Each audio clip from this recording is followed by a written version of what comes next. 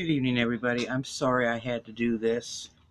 Uh, by video company turned off the computer, thought they were helping, and now it's going through a virus check. Anyway, here we go. There was a 5.1 Andaman Island, India, 6.2 miles in depth, according to the USGS.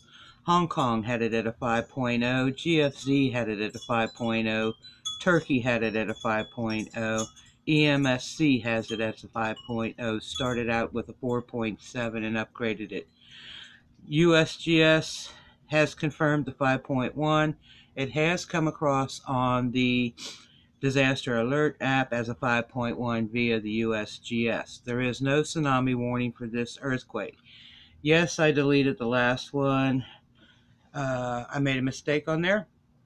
I apologize.